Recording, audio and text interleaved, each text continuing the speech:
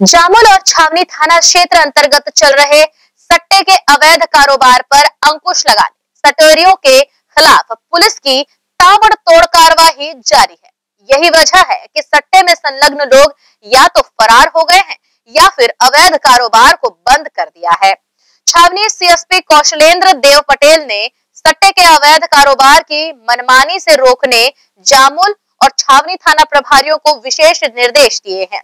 साथ ही कबाड़ियों के खिलाफ भी सख्त कार्रवाई करने को कहा है। सीएसपी छावनी कौशलेंद्र देव पटेल ने अपनी प्रतिक्रिया कुछ इस प्रकार दी। मेरे यहाँ ज्वाइनिंग करने के बाद कुछ सूचनाएँ मेरे पास लगातार आ रही थी कि क्षेत्र में जुआ सट्टा की बहुत ज़्यादा क्षेत्र में संचालित हो रही हैं, अवैध गतिविधियाँ संचालित हैं करके।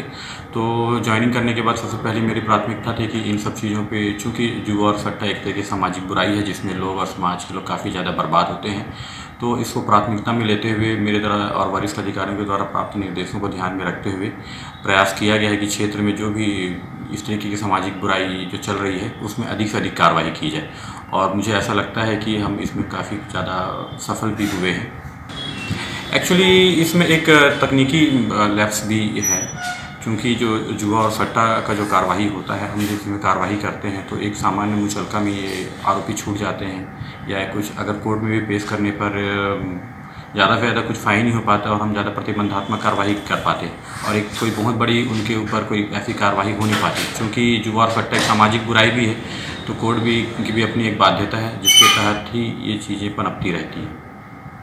सर, कबाड़ियों को लेकर अभी किस तरह की कार्रवाई की जा रही है? कबाड़ियों की अभी तो विशेष बहुत ज़्यादा सूचनाएँ नहीं मिल रही हैं क्योंकि अवैध कुछ स्टार्टिंग में मेरे द्वारा कार्रवाई की गई थी और कुछ के द्वारा इसमें लाइसेंस अपना बनाने का बिल विल शो किया गया था। तो जो स्टार्टिंग में कार्रवाई की गई थी, वही अभी है